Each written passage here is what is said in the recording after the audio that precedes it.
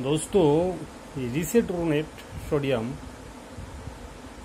tablet thirty five MG যার brand name আছে Risofos thirty five এটা কোম্পানিটা হচ্ছে সিপলা কোম্পানি বানিয়েছে তো এই সিপলা কোম্পানি যে আমাদের ইন্ডিয়াতে সব থেকে রেপুটেড এই সিপলা কোম্পানি মেডিসিনটা আশি পার্সেন্ট ভালো আর এই রেসিডোরনেট আপনাদের ব্যবহার করতে হবে কিসের জন্য? চল্লিশ থেকে পঁয়তাল্লিশ বছর পরে মানুষের যে কোনো মেল অ্যান্ড ফিমেল যে কোনো মানুষের হাড়ের দুর্বলতা এসে যায়।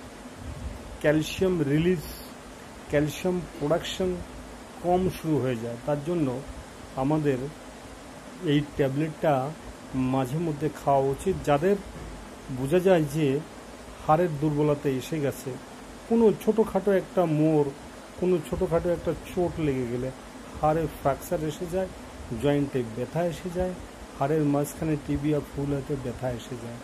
তাই দোস্ত, আমি এই ওষুধটা দেখাচ্ছি।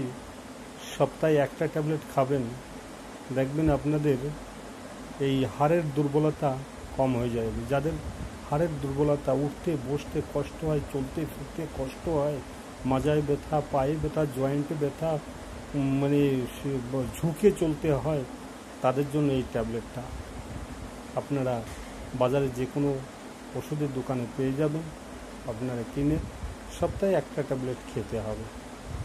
তো দোস্ত, আমি এই ভিডিওর সঙ্গে লিখে দিচ্ছি, এই লেখাটা একটু পড়ে নেবেন। ধন্যবাদ।